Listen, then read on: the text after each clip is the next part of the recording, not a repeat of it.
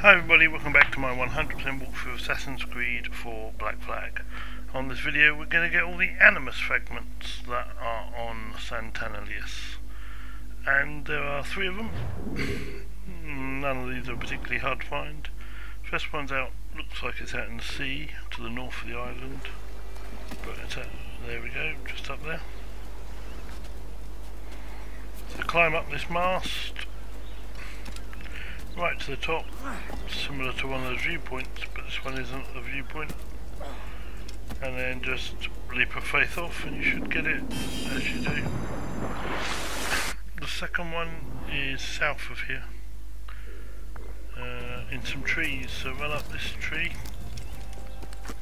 to the side, over, travel through the trees, to this stump, and then again it's a leap of faith off into the grass.